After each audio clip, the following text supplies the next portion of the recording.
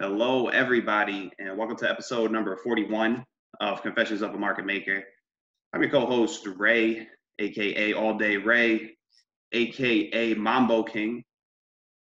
I'm joined here by my benevolent co host, former market maker of 20 years and current day retail trader, a legendary penny stock paper hanger, where he heard it in retail sheep like he was straight out of the Old Testament. He's a great. he's a great conversationalist, uh, but you're not going to find him talking around pillows. I'm talking about the gorilla of House Street. JJ, how's it going? Hey Ray, how you doing today? I'm doing good, man. Doing good. Excited for our guest. He is a senior prop trader at SMB Capital. He trades alongside some heavyweights and is a heavyweight in his own right. He does excellent videos for the firm where he gives out his nuggets of trading wisdom. A young man hailing from South Africa. I'm talking about Ryan ha- Hasson. Hasson, that's right. Hasson, Ryan Hasson. Ryan, thanks for joining us. How's it going, man? Oh, it's going great. Thanks for the introduction. It's great to be on here with you guys. Yeah, man, really, really appreciate it. I really love that video you put out recently. Um, prompted us to reach out to you, man. So, real excited. How how has this whole quarantine virus period been from you uh, from a personal standpoint? How's it going? So it's um, thank God, going well. Um, I came back just before uh, everything sort of um, unfolded with Corona.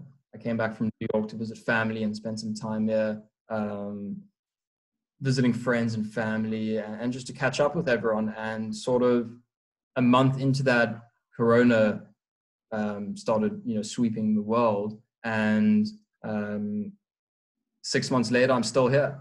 Uh, so from a personal standpoint, it's been it's been challenging, obviously, uh, trading from home, and it's it's it's quite intense in South Africa um, with the regulations. I'm not sure if you know this, but even alcohol has been banned for four months. Uh, really? Yeah, yeah. Uh, all alcohol sales have been banned for four months. Cigarettes, nicotine, all of those products have been banned as well. Um, I think we're actually um, on we number five for the most cases in the world. So it, it, has been challenging in South Africa, um, but luckily I'm I'm surrounded by friends and family, um, and also good internet connections. I've been able to trade every day and not miss out on any of the amazing action that we've had. Yeah. Um, so the things are, are going well. I can't wait to to go back to the states and trade um, alongside my team members and colleagues uh, and be in the office in that team environment again, which is so important. Yeah. Um, definitely can't complain to be to be safe and, and healthy during these times. Right, right, awesome. So how how is trading? Uh, you've still been in contact with uh, your teammates. Do you guys like Zoom conference or like what's what's the trading situation like now for you? Yeah, yeah. So in terms of my daily routine, it's it's very similar to what it's like in New York. I'm just not in the office. Yeah. Um, you know, with Zoom and with uh, Discord and Skype and GChat, we're connected all the time, me and the firm, um, from partners to team members, uh, colleagues. Um, so we talk uh, first thing in the morning, 9 a.m. We have a team meeting, Team Shark, and there are about seven, eight of us. We go through our top ideas. Um, and then throughout the day, we're sharing ideas, be it on GChat or uh, Skype call or Discord. And so we're always connected. Yeah. Yeah, that's great, man. Um, I always, you know, I grew up playing sports. I always enjoyed the the camaraderie, uh, you know, of teammates, and then playing poker, for, you know, for years. It's a very solo activity. Now coming into trading, I really enjoy having others to bounce ideas off of, to talk to. It's more of a team thing. Uh, talk to the importance of your like learning curve, Ryan. What it was like having these guys to learn from, to pick their brain uh, what you know what was the the benefits or you know I guess just speak on that. It makes a huge, huge difference, and I think for for newer traders, um, to touch on what you said, you know, in, in some sports, um, trading can be lonely if you make it lonely. Right. But if you aren't scared to ask questions and reach out to people, even if you're a retail trader trading from home and all you have is Twitter to see what you know ideas and what what's going out in the world um, um, you know, from Twitter, what people are putting out, um, you can still reach out to them and ask questions. And so it doesn't have to be lonely if you're not, um, if you don't want to be at a firm or if you're not lucky enough to be at a firm. Yeah. So it, it made a huge difference with the learning curve. I think it, it cut the learning curve by, geez, 50% probably. Um, Yeah. In terms of the time it took me to be profitable, consistently profitable. And the reason why is because I'm around, um, whether physically or connected just online with traders that at the time back uh, when I first started were doing what I already, uh, what I wanted to do.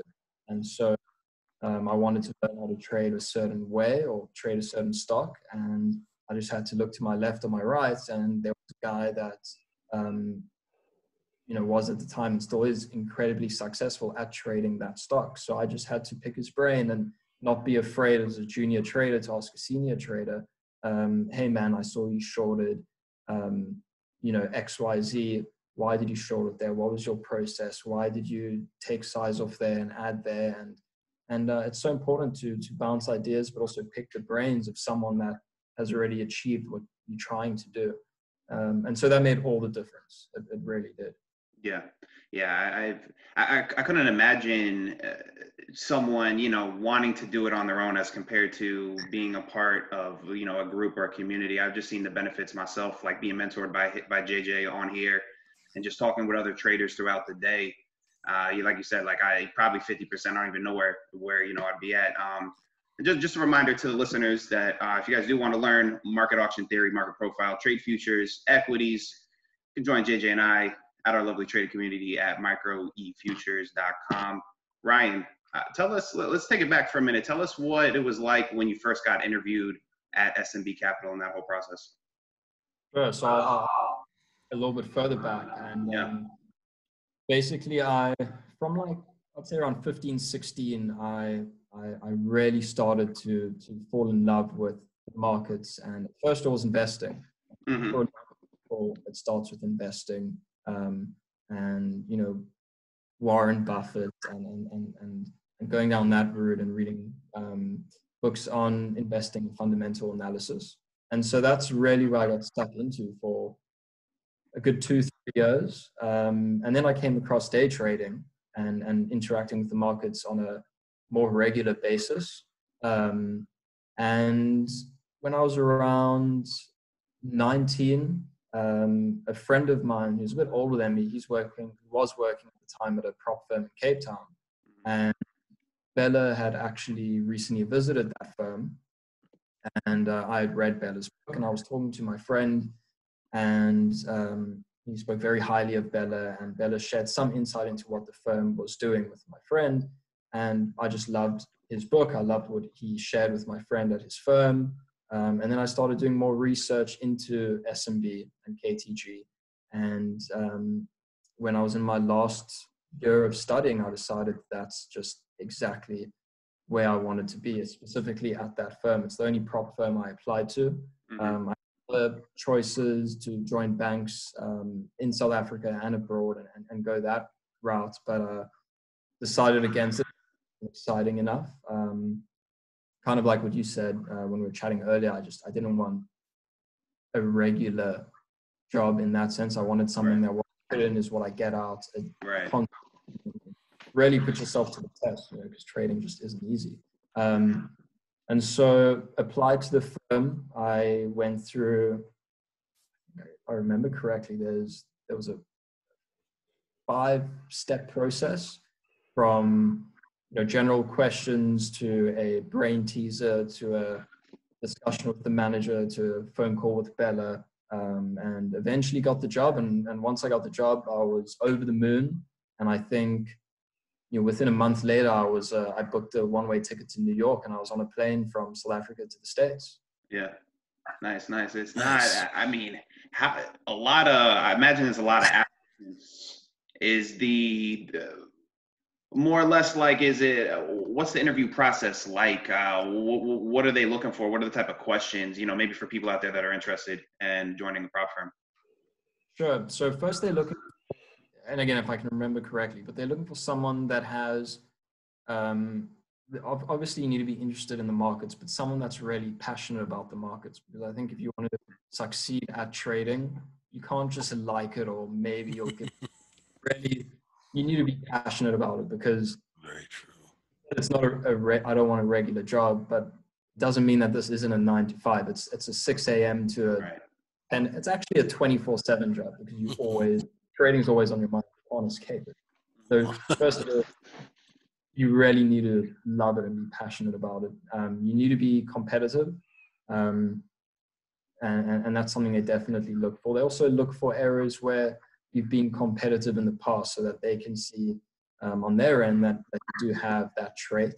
Um, you definitely need to be open minded. Um, they also want to uh, make sure that you're um, can gel well with their culture and um, potentially see a fit between you and a senior trader. Um, and yeah, off the top of my head, those I would say are, are from my end the most important four, uh, four or five characteristics. Yeah. Now you don't you don't necessarily have to be an experienced trader, correct? No, no, right. definitely.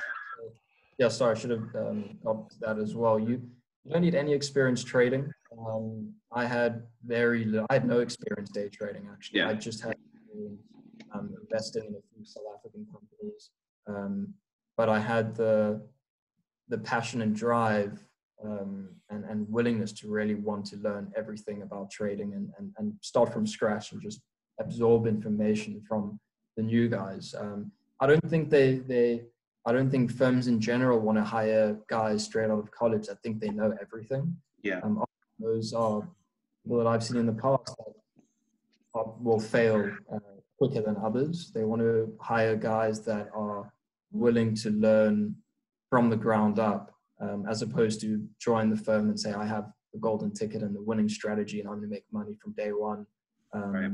So, want guys that will manage their expectations and understand that there's a real learning curve, um, and some sacrifice will have to be made in terms of, you know, really having to work hard, harder than your friends for the that are getting other jobs for a good year, two years before you really see the um, the results and, Mhm. and the job. Right, right, absolutely. And I, you know, JJ's echoed this sentiment, and even others we've talked to, and that sometimes uh, the smartest people, maybe with great, great backgrounds, college backgrounds, whatever, aren't the best traders, right, Jay? Like you said, some of the best traders you know and have just been like street guys. Definitely. You know, I Yeah. know those, you know, 200, 300 million dollar traders. And um, yeah, they've been just, you know, one of the sharpest traders I ever met used to dig dig swimming pools out for a living before he was a trader on the floor. And uh, man, that guy's one of the sharpest traders I've ever seen. Fast, executes just, you know, he's off the floor and retired now. But uh, yeah, it's uh, Reverend Jim. We used to call him the Reverend. And and man, that guy could trade circles around people. You know, he'd move a million shares around you. You wouldn't even know what was going on. You know, Shout out, shout out to Reverend Jim if he's Yeah.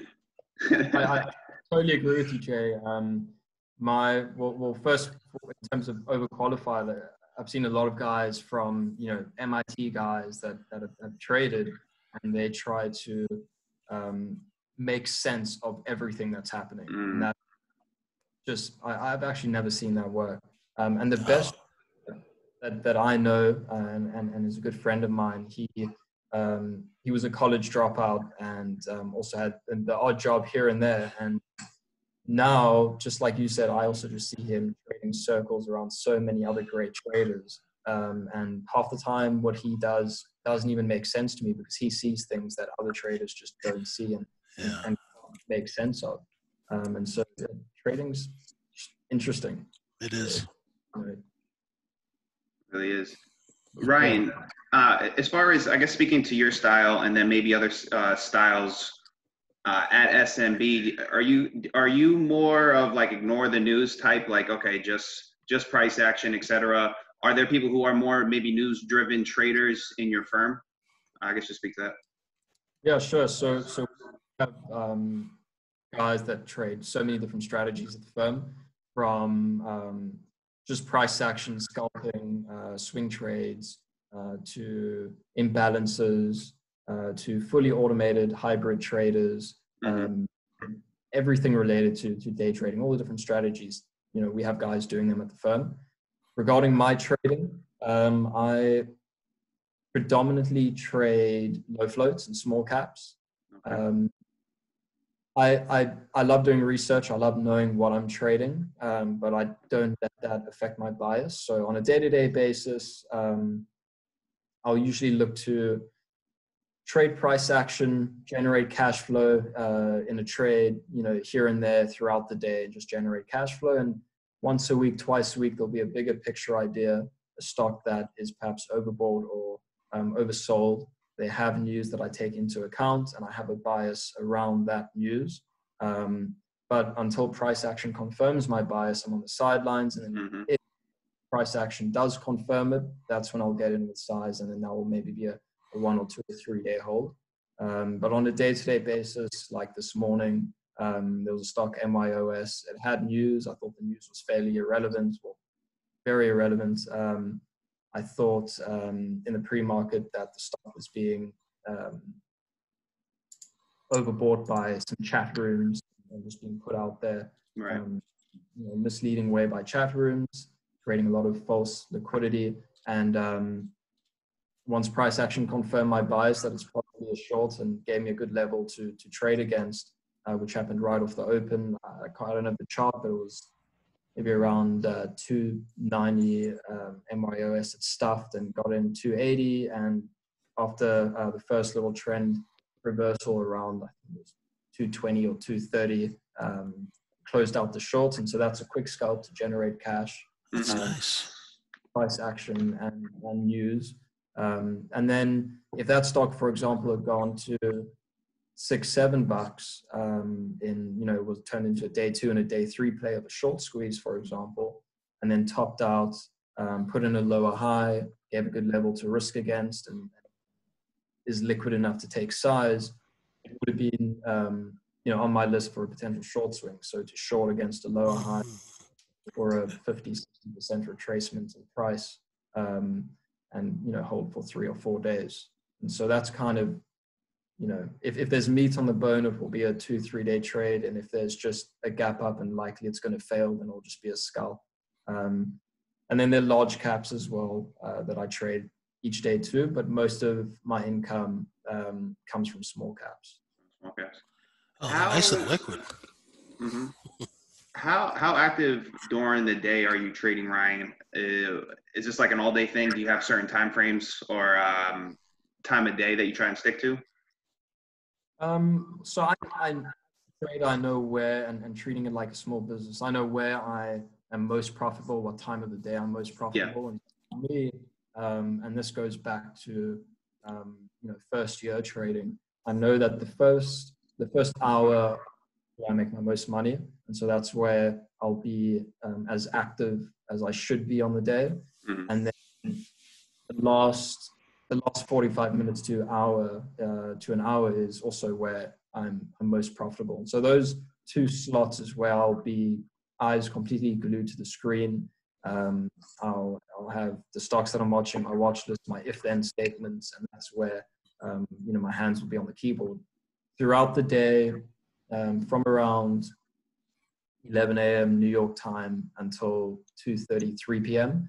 I'll be Eastern time. I'll be um, flicking through stocks, reviewing what I traded on the open, talking to other traders, see how they traded, what I traded, um, doing some research, seeing if there's some higher time frame setups that are that are taking shape. Um, I'll work out. I like to work out throughout the day or in midday. Um, sometimes go for a walk and just sort of break up the day into two sessions. Um, so stay refreshed. Um, and yeah, that's usually my routine during during and throughout the day. Okay. So s- since you started, Ryan, h- how would you say you've evolved as a trader um, from you know s- strategy and, and style wise? So when I first started, I traded everything. Um, you know, kind of going back to what I said in the beginning about a characteristic of when you join. I came in saying I don't know anything. I don't know who I am as a trader, um, what I'm good at, what I what I like, what I don't like, etc., etc.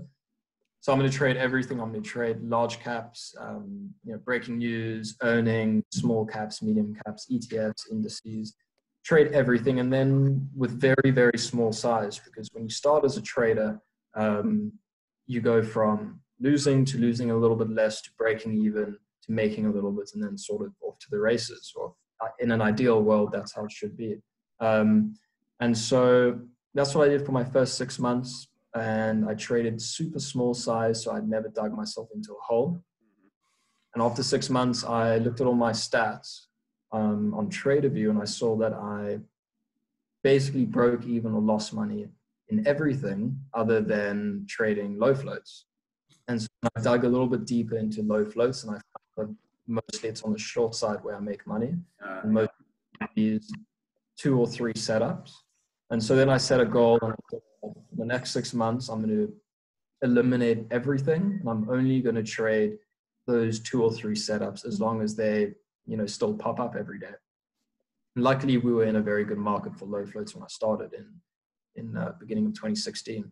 And so that was the goal I set. And six months later, I was consistent trading low floats, um, not making a lot, but you know, I was consistent and finding and, and, really deepening my understanding on filings and the mechanics and the technicals behind these stocks and how they move and why they move um, and why some of them some don't, etc., etc. Um, and then the following year, I said, all right, well, now I've, I've sort of got that waxed where I can size up and make a living from trading these. And so, what skills do I have from trading these low floats? And for me, it was, you know, finding um, certain chart patterns on the short side to manage risk, identifying stocks that are overbought, um, identifying the short squeeze, being able to um, see when a stock is going parabolic or putting in a top, and, and the list goes on and on and on. And then I said, okay, well, those are the skills. So where can I, what else can I apply those skills to? And then it turned into um, not only day trading those stocks, but also swinging them um, when they were overbought um, and kind of went parabolic. And then that turned into also day trading large caps on the short side that were overboard or on breaking news and using those scalping momentum skills and low floats to trade um, in play large caps on the short side or on the long side. I mean, long and short, same thing. You just flip the chart around, and it, it really is you know the same thing if you think of it that way.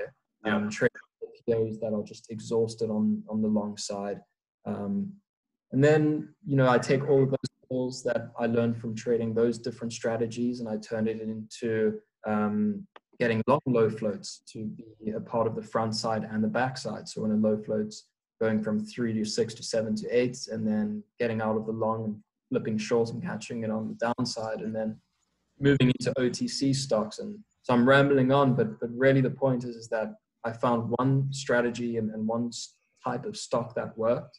Yeah. Um, identified the skill and what that makes me as a trader, and then where else can I apply that to to create multiple streams of income as a trader. And so now it's evolved into um, a lot as a price action trader, different stocks and strategies. But it all started with with just one little element. Yeah, yeah, man. You, from what I've gathered from you, from you know watching the video and talking with you, you the your whole process you went about learning trading almost seems like very like textbook. You, you stayed open minded. You you dug it. You took you uh, all the stats. You dug into what made you correct, and so this is real good stuff. You're talking like for for the listeners.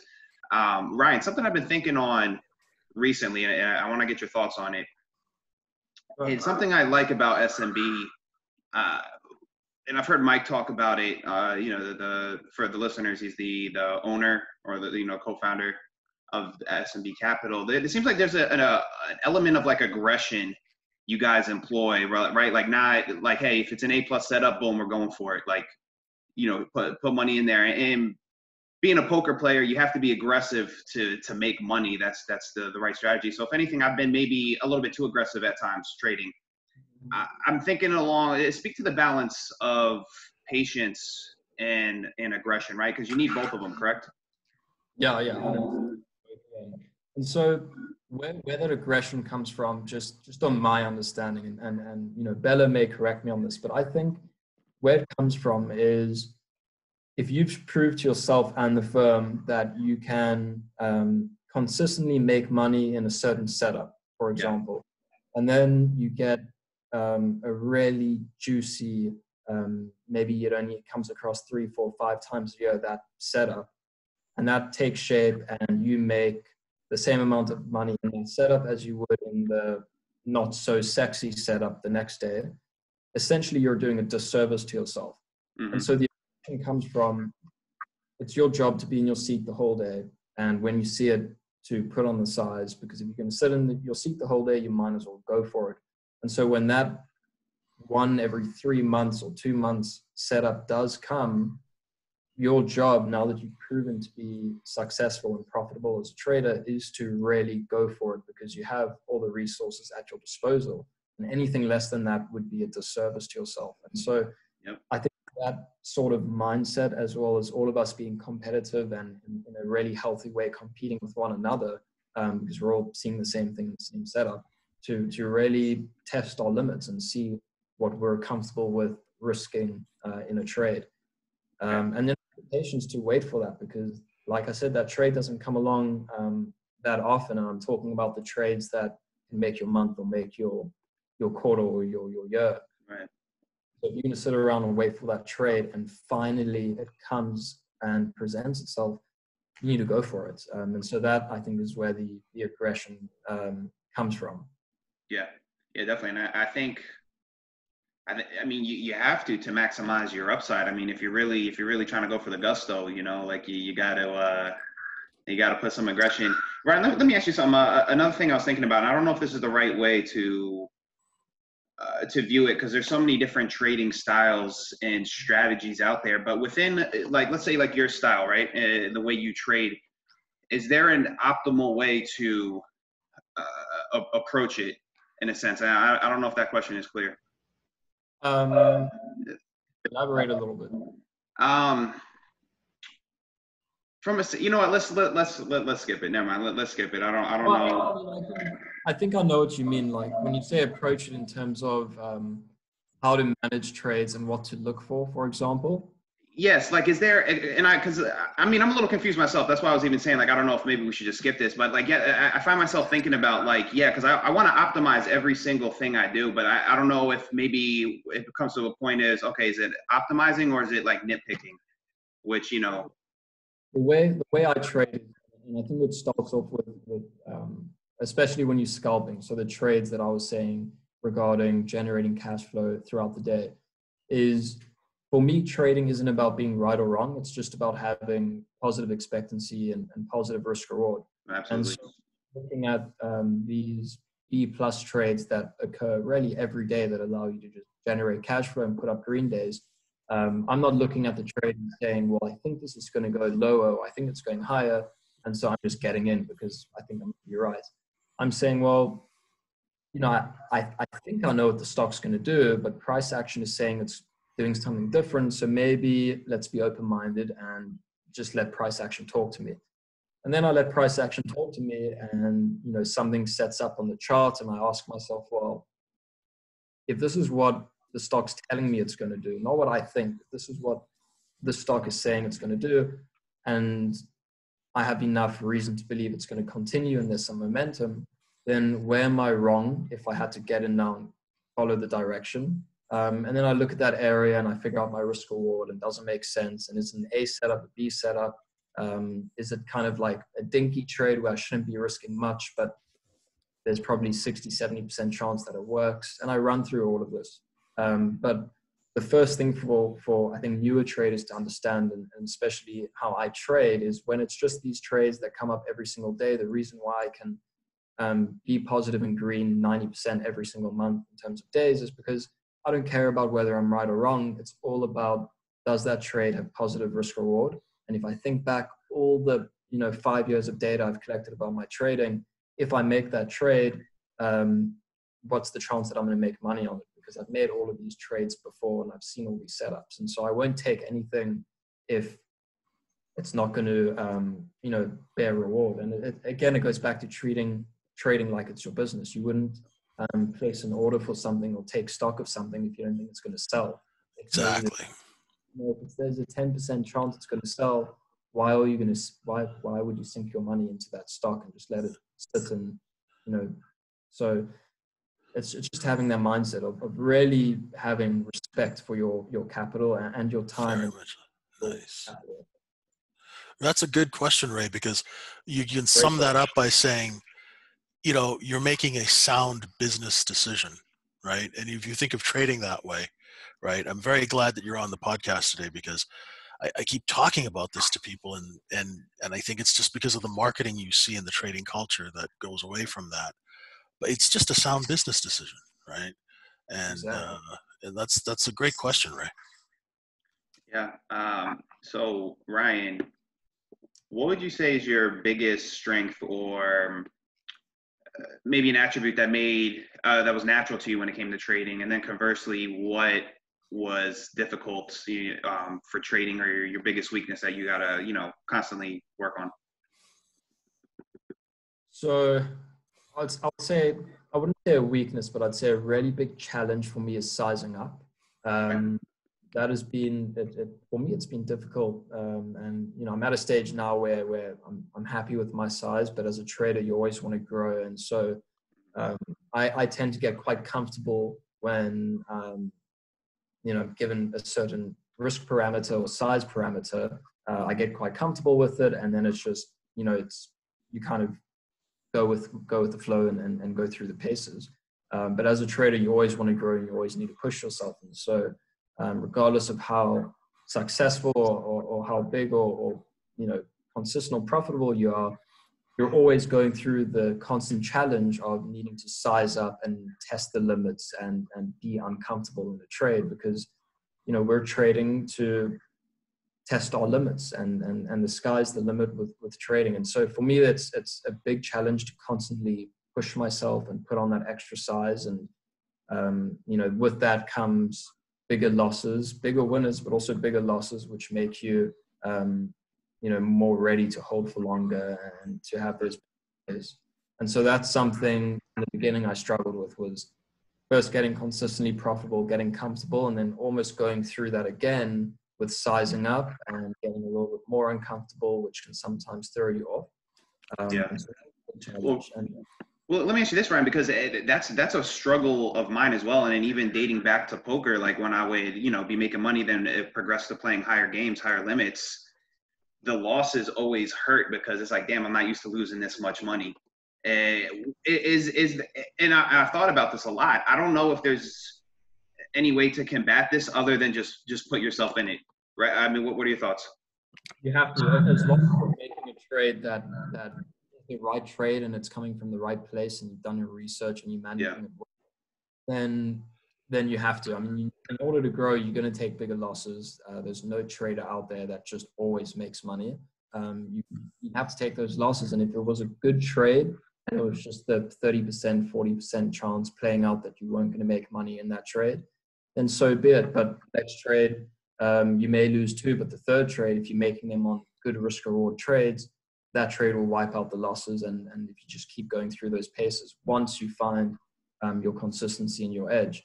And so, you know, with that came the reason why I could overcome that and overcome that. And that's because I'm very patient and I don't like to make trades if um, I feel like it's gambling. I only like to make trades if I know that, you know, this is a trade I can look at all my stats and I've made it um, 500 times and out of the 500 times, um, I've been right 350 times, or I've only been right 100 times, but the risk reward is seven to one, so it doesn't really matter the times that I'm wrong, um, that the winner's right.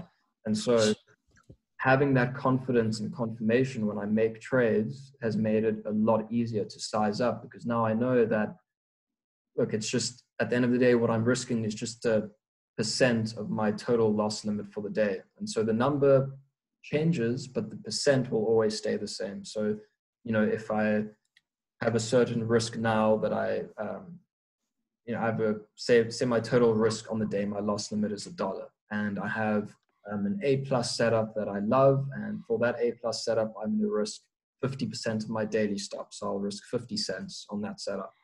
Um, and then I do well, and my risk gets bumped up to two dollars for the day. I'm still going to be risking 50%. Um, it may be a bigger thing, $1, but it's the same percent. And so keeping things as a percentage also helps. Um, I think for newer traders that could help too, instead of thinking, in terms of dollars, just think as a percent um, and be a bit more systematic with with that regard. In that regard, um, and and and yeah, hopefully that that answers uh, your question. I know I tend to ramble on, so at any point, if you want to No, jump in, good. Right, no, this is good. This is good. This is good. stuff. No, no, great stuff, Ryan. Yeah, no, no, real good stuff. So, Ryan, what role does technology or software assistance, back testing play into your strategies? plays it plays quite a big role. Um, when I first started, uh, everything I trade now I did back test um, to the extent that I could. Um, a lot of it is it's very discretionary, so you can't precisely back test what I do, but I did to the best of my ability. Um, that gave me some more confidence in what I was doing. And on a day-to-day basis, I use um, without being automated and having scripts running, I use technology. I think to the best that I could be, and that's having scanners. So, um, you know, coding my own scanners and alerts to alert me to every potential setup um, within my toolbox that I should be looking at or should be trading. I'll be alerted to that. Uh, when I get in in the morning, usually um, I'll look at all the gappers. So I'll have a watch list and a scanner that I build to alert me to all the stocks that I should be looking at in the morning will alert me gapping up, gapping down, news, um, I'll have board views. So the electric vehicle sector has been hot lately. So I'll have a little board view with all the different electric vehicle stocks with um, market names, with uh, large cap in play names, um, you know, color code them if they're above or below VWAP or trading at VWAP, different arbles. And I mean, I, I have probably 15 or 20 different little board views and scanners running um, at all times. And that's to alert me to all of my different um, I would say my different niches and what I'm good at. And people are here to supplement me and say, hey, you know, this is one of your potential trades in a large cap or small cap or medium or overbought, oversold, uh, trading uh, in a range at the two or three day VWAP. Or, and so throughout the day and after midday, I look through all of these scanners to potentially find one or two, um, you know, A trades to make midday. Um, which I wouldn't find if I never had um, all these eyes in the market pointing these out to me. Yeah, excellent, excellent. Hey Jay, do you um, um I know I'm asking all the questions here. Do you, do you have anything from my man? I don't know if um, Yeah, no, I got a lot. I've actually got quite a bit here. I just wanted to uh, just wanted to let you finish. Yeah, well, um, I, I would. Okay, I'm gonna ask one more, then I'll let you jump in. Okay, So, sure. Ryan, I wanted because you're on the the guy uh, Sharks team, correct? Yeah. He's uh, I know he's a big trader, maybe like one of the most successful in the firm. What have you learned? Like, what is he like, and what have been some of the big takeaways you've gotten from him? Um, on a, well, on a personal level, he's he's awesome. He's just such a great guy. Um, so driven, so humble. And, and uh, when I first started, what really stood out to me is, you know, here's this super successful trader, one of the guys I was trying to to emulate at the time, and I still am. Um, but he, he's always willing to give his time to help newer traders and ask and, and answer questions. And, and so that really stood out to me. Just a really great guy. Um, and he's he, he's actually quite interesting is he one of the reasons he got into trading which will resonate with you is he loved to play poker. And uh, that really got him um, i think more into trading than than than otherwise. Yeah. uh, one of the things that i've learned from him is managing expectations. That's been a big thing. Um, and bigger picture, managing expectations, specifically when I started on this team, understanding the learning curve is real. Um, also, mindset uh, as a trader and on a day to day basis, really taking stock of what's the market doing, where have we come from, where are we now. Um, you know, is some energy coming out of the market? Should you be dialing back a little bit and not, you know, be so heavy on on the pedal? Um, zooming out on a particular stock and asking the same questions and you know not always going for the shiny object maybe sometimes going for the that not many people are watching because that's where the easier money is um, and his you know his hard work is also very motivating to to a lot of the other traders at the firm because he's you know, here's a guy and the other traders at the firm like him who are just doing so exceptionally well but you know i still get sent his reviews every day after the close as a team. We all send our reviews to each other. still sends his reviews. Um, his is probably the most detailed out of anyone else's on the team. Um, and you know, you wouldn't think so. He's, he's the most senior, um, most successful trader on the team, but his review and, and his work ethic is second to none, um, which is very inspiring. And so, you know, being around a trader like that is is awesome because it just motivates you and and and also opens your eyes that kind of like I was saying earlier with sizing, um, you know, of course, not for him sizing, but traders are always working on their game because you'll be satisfied and but you'll always be hungry because you know you can always do better and be bigger be uh, bigger. And um, seeing someone that's doing what i dream of doing in, in the next few years um, having achieved it but still working hard to get to a, you know, a new level and a new level and a new level is just awesome. Um, and so yeah big shout out to shark because he's he's he's taught me a lot of what i know yeah, yeah. Shout out to Shark. Yeah, no, that's great, man. That, that, that's a blessing that you have these people to you know pick their brain and learn from. And I uh, appreciate you sharing sharing some of that with us. All right, Jay, you could uh, you could jump in now. Cool. I, you know, I get a lot of because we do teach. I get a lot of questions from people, you know, saying that they want to be a prop trader. So let, I just wanted to ask you. First of all, it's great to have you here.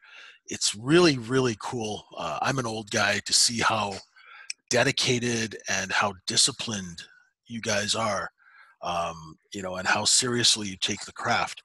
Um, I think that's very, very cool. Um, if you can just kind of explain, you know, you know, Ray was going through the interview process. So what happens when you actually join a prop firm, and, and what's that process like? Because people are asking me, is there a buy-in, or you know, that sort of thing? Uh, do you have to come up with some of your own capital? Um, it, just walk us through how how it worked for you. Sure. Um, so I can't speak for other firms, but I know uh, at our firm there's there's no buy-in at all. Um, the firm completely back you and support you. When I started, um, we go on a simulator. I went on a simulator for a couple of months, I think two or three months. Um, and during that time, uh, I was in a class of 10, uh, I believe that started. And we would have two or three meetings uh, during the day, one in the morning, discuss opening ideas. Um, the floor manager would share some of the ideas that the senior guys were looking at. Then we'd have another meeting midday, another meeting, um, sometimes sort of midway through the afternoon, um, the close, and then one after the close. And so the first two, three months, we're going through the training program uh, that SMB um, have in-house, and we're also trading on a simulator and getting access to what the senior traders are doing and also learning from one another with all of these meetings and sharing trades and and um, really learning from each other's mistakes too. Uh, and then after that that process you interview for uh, a team. You go live uh, for about a couple months after that sorry and you, know, you trade small size you trade live and you, know, you built your playbooks and you figuring out who you are and uh, uh, what has resonated with you as a trader. Um, and eh, after about four months, you you interview with all of the team leads, and then the team leads select who they want to be on their team and who they want to you know, sort of mentor and take under their wing. Um, and that's really where where the fun starts. And so after about um, five six months, I joined Shark's team. Um, and that's where I could take everything I'd learned the last six months and start applying it um, on a more, um, I guess, just on a deeper uh, uh, level and just on another level, um, because now I'm trading alongside a trader who's, um, you know, actively trading and successful.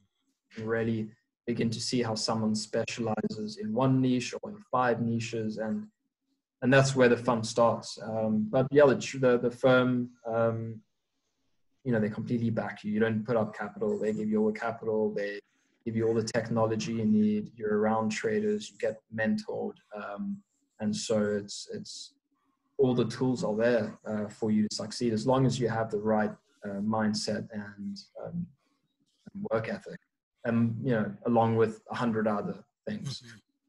no no it's it's it's really great because it, in this you know trading is now a very very popular thing you know uh, they're opening up 100000 200000 accounts every month at these places. And you know so every time something gets popular the vultures come right? And um, so i i'm you know we have a lot of you know younger folks out there who are really interested in this. What should they look for if you know they're coming across you know what should they look for in a firm? Um, you know if they're trying to get in like it's kind of a two-way street you know the firm has to accept you as well but what you should you look for and what kind kind of places should you avoid you know in the prop world? Um i mean you definitely want to avoid the places that don't offer any training. You mm-hmm. want to you know because you're there to learn and, and then there to trade and make money. So one, you don't want to go to a place that won't give you any training or give you access to the traders that are making money um, you want the culture to exist at the firm where you can ask questions. You can go up to a senior trader before the open, after the close, and say, "Hey, man, you know, what are your thoughts on the day? What are you trading?" Um, and you also don't want to be at a firm that says, um, you know, you can join our firm with pleasure, um, but you got to put up this amount of money, and um, that that is very easy to get in because it's very easy to get into a firm.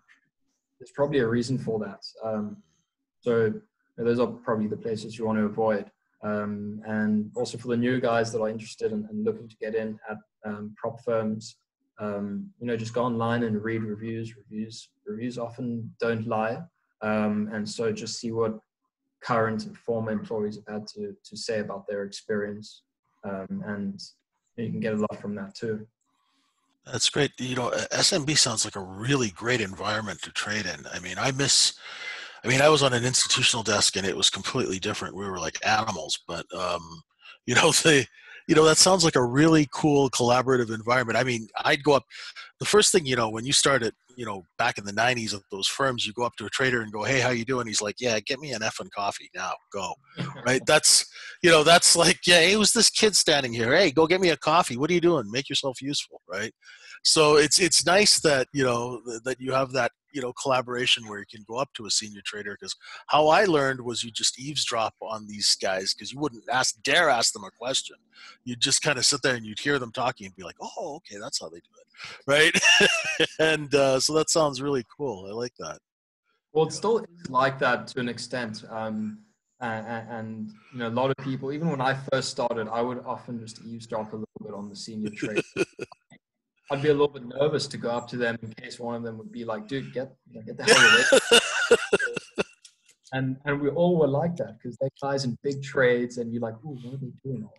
I don't know what they're doing, but none of us would go and ask them because they're in a big trade, and we're so we kind of just like will yeah. a little bit closer to where they were sitting, so we yeah. could kill the action play out.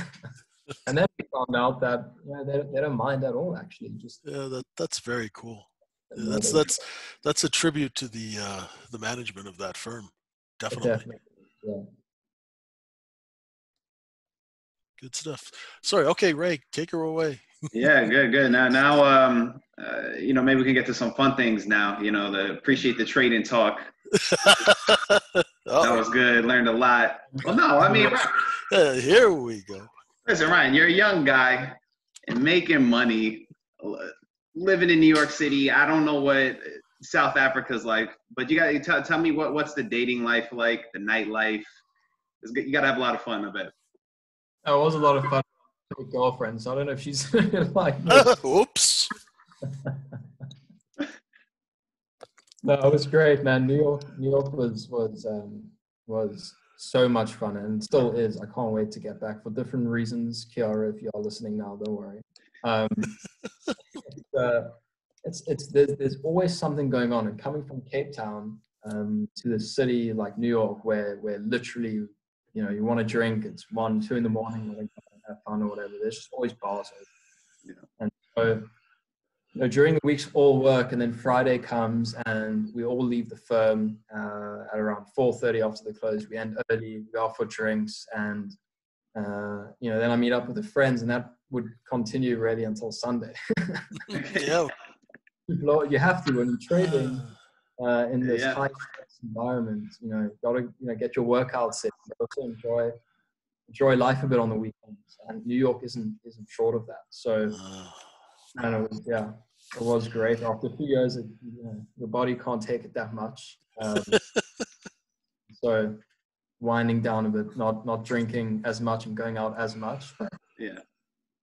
yeah, Yeah, here and there. Shout, shout out to your girlfriend. And they, um, Ryan, the, the the accent when you got to America, the women women like your accent, yeah. I'm sure you get that, yeah. No, I did, man. They loved it. I just hearing it from a guy is a bit, a bit strange. but no, the girl- Well, I'm the, I- I know women, Ryan. I'm just saying. I'm sure they're eating it up. That's all I'm saying. I'm just. No, no, he, uh, Ryan. He's probably practicing so he can emulate it. You know. I am. I'm gonna replay this podcast over and I'm, over. I, I'm, I'm Ray from I'm from Johannesburg. Nice to meet you. No, the accent definitely helps. The accent, the accent helps a lot. Yeah, American girls like the South African accent, man. I, I don't know what it is. It's it's other places in the world not so much, but girls in America seem to love the accent. Yeah, yeah. Any any notable differences between American women and the women in South Africa? Um, women in South, I have to choose my words carefully because I'm here now. The women in South Africa are, are um, they're amazing. I, honestly, I think the most beautiful women in the world. Mhm. Um, in, in America, I think are a little bit more, um, in a sense, I would say outgoing, um, Okay. but sort of just like easy, easy to get to know originally and hold a conversation with, and just kind of, um, you know, have fun, um, you know, off the bat. And and I think the women in South Africa can be a bit, um, a bit more um, restrained when it comes to meeting someone new and, and getting to know someone. Um, yeah, and I, think it's because the culture is very different. Um, in South, South Africans are so friendly and, and they'll always welcome you. But in the sense that in South Africa, like when I went to to college, you go, you know, it's it's 15 minutes away from my house, so you always stay, um, you know, very close to home and, and in a bubble in a sense. Whereas in the states, people travel, you know, from one coast to another coast, and and always meeting new people, and so I'd say that's a big difference, not only between um, girls, but just South Africans and Americans in general. Yeah, yeah. And Trey, uh, any cultural adjustments you had to make when you came here, or it's similar-ish enough? I'd say similar-ish enough. Yeah, I would say, you know, two of the biggest things. The one was having to roll my R's when I spoke because people just couldn't understand me. I- I mean, it just and, it would kill me. Like, like, like, give me an example. Like what? Like what would you say? Like what? like I would say, "Where we go?" Say what, and I'll be like, "Oh, where are we?" Like I'm speaking English. You understand what I'm saying? Like, I'm like, no, just just speak slower and Yeah. and uh, you know we all, we have different um, names for for things. So you know, in in South Africa we call it call the traffic lights a robot.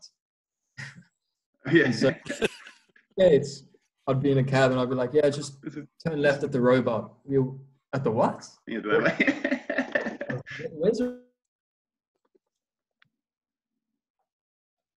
oh, Oh, we lost him. He Oh, no. froze. Oh, where do you see a robot, my man? What are you talking about? oh, there he is. I'm here. Oh, sorry. Oh, you back, Ryan? I'm back. Can you hear me? Okay, we hear you. Yes, yes. You were sorry for that, all the listeners. We had a little technical difficulties. Ryan, so I'm yeah, back. the So- last bit, last bit I heard was you telling him to make a right at the robot.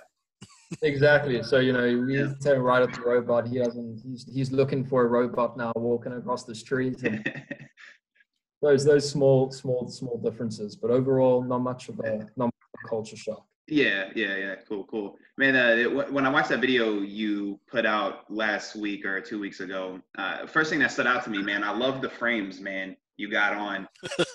What- I, I do. No, no, I like them. I've been, and no, honestly, like I, I wear contacts, but I'm like looking for some like glasses. What, what, uh, what brand are those? What's, what's the?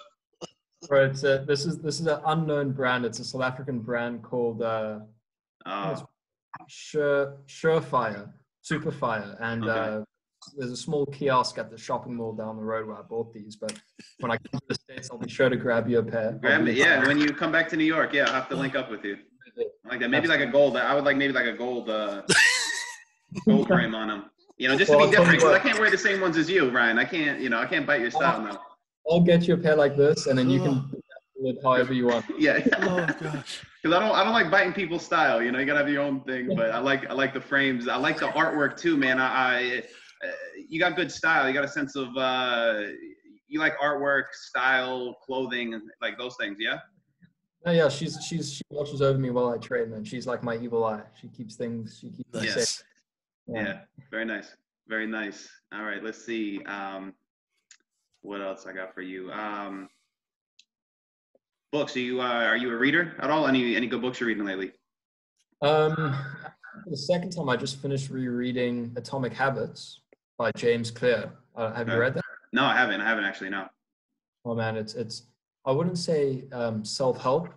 It's just it, it, keeps me in check as a trader. Um, so basically, the book's all about how a lot of people see, you know, overnight successes, or a lot of people, um, you know, want to make. Uh, I want to make a million dollars, and then they just focus on that's the goal. I want to make a million dollars, but they don't think about what goes into achieving that goal and getting there. And uh, you know, you see an overnight success, but you don't see the last four or five years someone put into achieving or, or getting to where they are. And so this book's all about improving and growing 1% every single day um, and making the mistakes, learning from them, developing the right habits, uh, the foundation. And it's all about life, but it applies so well to trading. Um, and it was actually gifted to me by Bella. Um, read it once, loved it, then sort of forgot about it, read some other books, and picked it up again about a week ago and, and just finished it. And it's it's not related to trading, but when it comes to trading, it's, it's a book that I recommend so highly. And, and most- Absolutely. Absolutely, man. And that, that's, that's what I really, uh, what is it? Atomic Habits. I'm writing this down right now. Atomic, yeah, Atomic Habits by James Clear. Okay. All right. Yeah. I, lo- I, I I just, uh, and I, and I loved everything you've been speaking about, like um, mindset wise as well. And it's like, this sounds like this book is just echoing the same sentiment you were saying before. Is like the process, not the results. Uh, Exactly. Which is uh, like i think that's when i finally took that like turn in my head and which i still got to always remind myself you know i'm still human and like i still like get attached to results you know somewhat i mean it's kind of hard not to but once you like make that turn i, I think it's just a huge difference um you know in, in my development um so all right let's see what else uh yeah go ahead I totally, I totally agree because, and when you start out trading, it, it's hard not to only, it's hard to not only think about, um, you know, I made X amount today and I should have made more, or I lost and damn, I shouldn't have lost that much. And you get so wrapped up in those results as opposed to thinking, okay, I, I, I made that or I lost that, but what, why did I make that or that? What mistakes did I make? What didn't I do that I should have done? And taking note of all of that as opposed to your P&L and then doing that every day and then things compound and then you know six months later you can start focusing a little bit on the money side of things how can i be bigger and, and i should have made more in that and again it's the process because things compound over time as long as you focus on the process and the habits and the foundation in the beginning um, understand just just understanding that um, makes all the difference. It does. Yep it really does.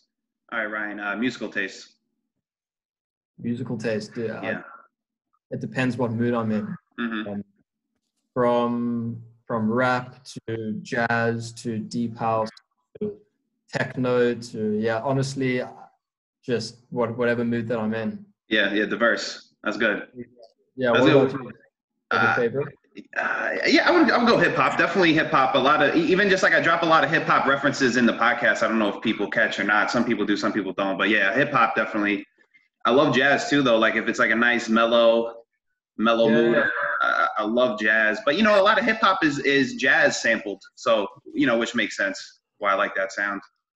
Um, yeah, man, I like psychedelic rock. You know, um, a little bit of everything. any, uh, Go ahead. you, you listen to any Hugh Masekela, Ruben?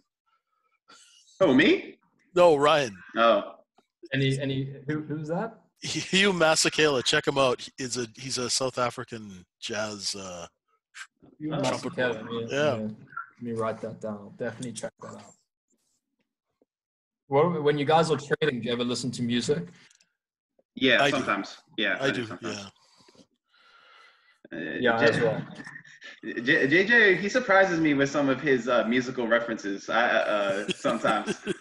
would you Would you hit me with the other day? Uh, uh, the Jay Z. Uh, hit me with it.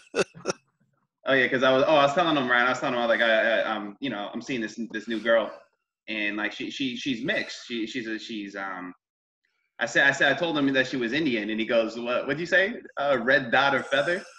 yeah, which is a very very very inappropriate thing to say, but I was quoting a song lyric to see if you'd catch it. It was a Jay Z. So there, there's yeah, our disclaimer. Yeah, Yeah, there's our disclaimer, right? There's our 17B disclaimer. Okay. Yeah, we know. Don't cancel the podcast. Don't come for us, people. yeah. You know, I know every day everyone's getting canceled these days. It was, you know, it's a song lyric. Yep. You know, we're having fun. But yeah, no, I thought that was funny. Yeah, you surprised me with that. That Jay Z, girls, girls, girls. That's fun. Yeah. So he's funny. He and he, he acts like he's he's so like uh you know he's not hip, but he he got some he's got some hipness in him, I guess. Um, let's see, Ryan, favorite movie or movies if you don't have one. Um, favorite movies. I mean, because we're doing a podcast and talking about trading, I'm gonna have to go with uh, Boiler Room. Love that. Mhm. Uh, Big Short was great. Uh, let's we can do favorite series because series is where it's at at the moment. Yeah, yeah. Um, what did I recently watch? Uh, Mad Men is classic. Um, love that. I saw them in the bars and that that whole vibe. When I first watched it, I watched it twice now. When I first watched that, that was like probably five percent of the reason why I was so quick to jump on the plane, just because of that the culture and um, you know just that that that feeling you get. Um, I, I just I just love that and uh, the jazz and whatnot. Um, Dexter's great show. Friends, all time favorites. Mm. Um, About uh, billions, have you? uh Billions, I, I first uh, I think like two two yeah, two seasons, two or three seasons, and then sort of um, just got you know just kind of lost lost track of it. But I've been meaning to get back into it. Yeah, yeah, yeah. We enjoy that one here. We've actually, we've actually, we've we've had on two of the actors like on the podcast.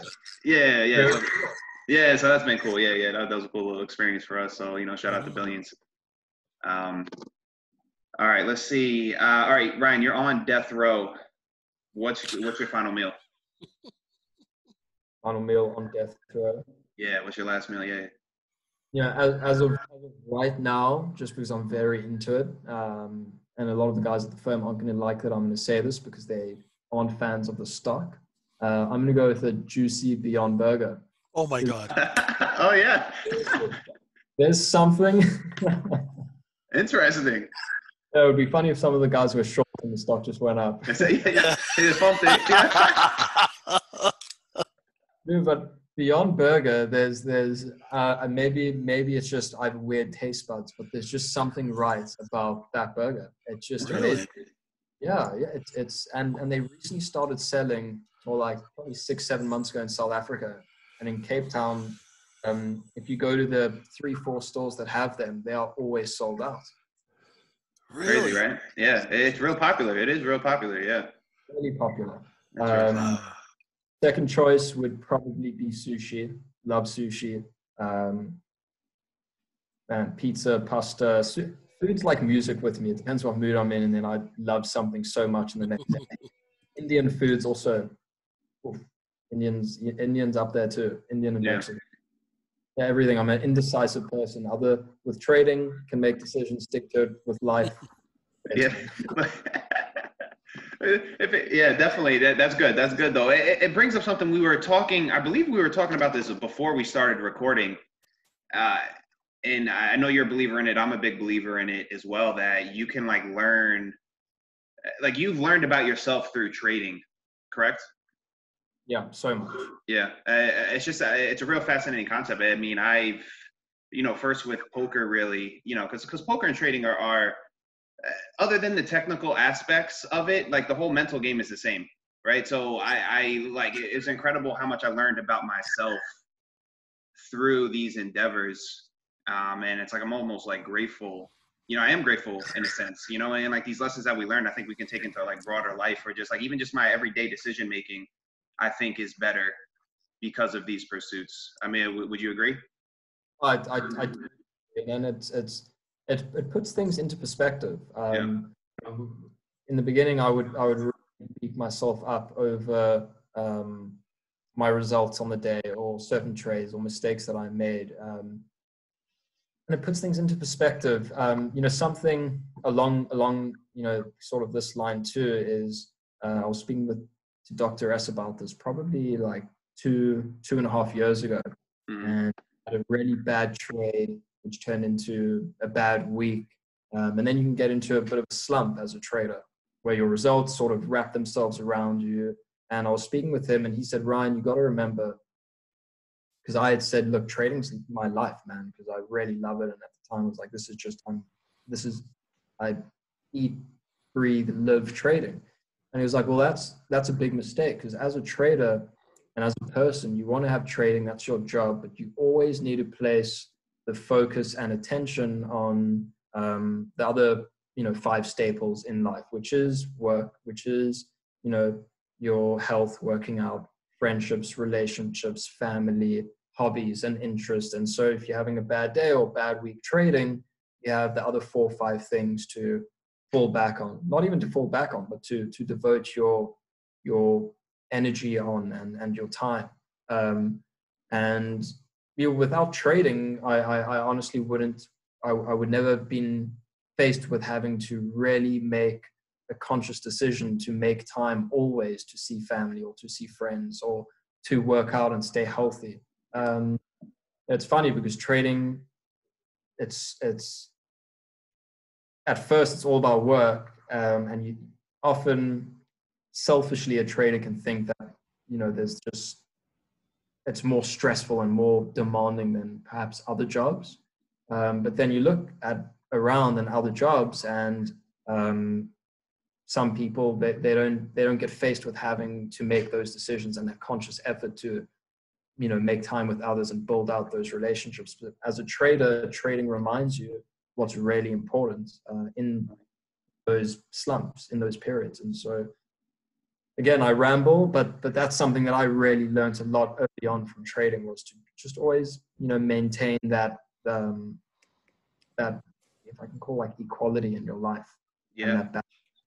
that ba- that balance, man, definitely. Which I'm a huge believer in. No, well said, and shout out to Dr. Steenbarger. That's that's Dr. S. Yeah, dr s yeah he's great. shout out He's another another person in my trading trading life that if he hadn't you know been there and helped me and and, and advised um i i wouldn't be you know a, a quarter of the trader that i am today Yeah, yeah, yeah. We uh we love Dr. Steenbarger here. We had him on- on the show as well. Good guy. yeah it was a great, great podcast you did yeah i listened to that it was Yeah, fantastic yeah, good, good guy, man. Um, let's see what else. I wanted. I was gonna ask you something else. I don't know, Jay. You got any more questions for our for our boy? No, that that's pretty much it. I'm I'm really just just really happy that we got you know to to pick his brain and and get some insight into the prop world, you know, because a lot of people talk to me about prop and I'm like, I was an order flow jockey when, you know, the bell rings, you know, we're in the bar, the prop grade traders are doing their research and you know, by the time they're on their third chart, we're we're pickled. So yeah, you know, it's really nice to have because eh, you know a lot of people ask me about that, and, and prop I think can really help retail traders because they see the discipline and the work involved and and the process. Yeah, yeah. Oh yeah, and I love love the business like approach because I think that's the way that's the way it should be viewed, and I think people need to do that. Um, and yeah, Ryan, it was just a real real pleasure talking to you, man. I really I I really love your whole process, your mindset, the way you go about things. It was a pleasure talking to you. Oh, I remember what I wanted to ask you. Working out, what type of what type of um are you weights, cardio, a mix of both? Like, what's your workout routine like?